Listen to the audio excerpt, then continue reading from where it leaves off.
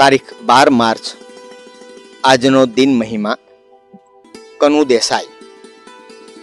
ગુજરાતમાં કલા શબ્દના પર્યાય સમા, કનુ દેસાઈનો જન્મ તારીખ બાર માર્ચ, ઓગણીસો સાતના રોજ અમદાવાદમાં થયો હતો. મોસાળમાં ઉછરેલા કનુએ કલાગુરુ રવિશંકર રાવળ પાસે ચિત્રકલાની તાલીમ લીધી હતી. થોડા સમય બાદ કનુભાઈને શાંતિ નિકેતન જવાની તક મળી. કવિવર ટાગોરની નિશ્રામાં તેઓ કલાક્ષેત્રે ખૂબ કીર્તિ પામ્યા.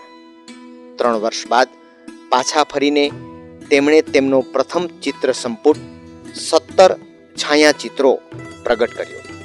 પછી તો એમના લગભગ ત્રીસ જેટલા આલ્બમ પ્રગટ થયા. ઓગણીસો ને ત્રીસમાં એમણે ભાગ લીધો હતો, એની સ્મૃતિ રૂપે એક ચિત્ર સંપુટ પણ પ્રગટ કર્યો.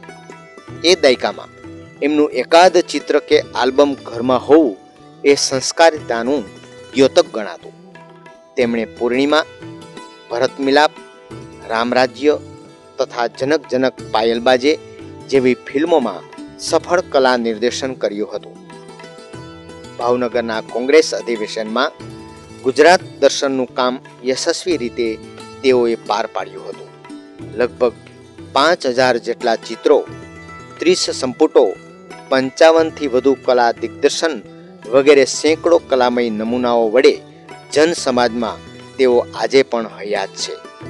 ઈસવીસન ઓગણીસો ને એંસીમાં કનુ દેસાઈનું નિધન થયું.